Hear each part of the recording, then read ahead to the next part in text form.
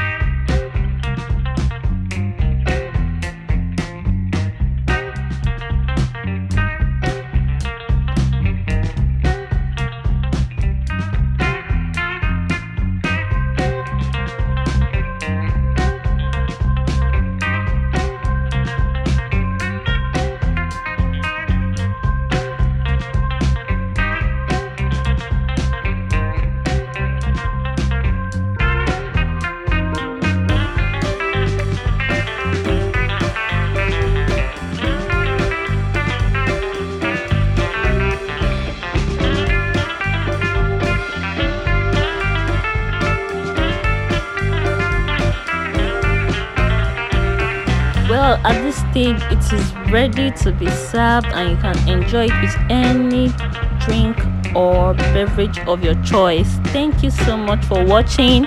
If you enjoyed this video please give it a thumbs up share subscribe to this channel and i'll see you in my next video. Bye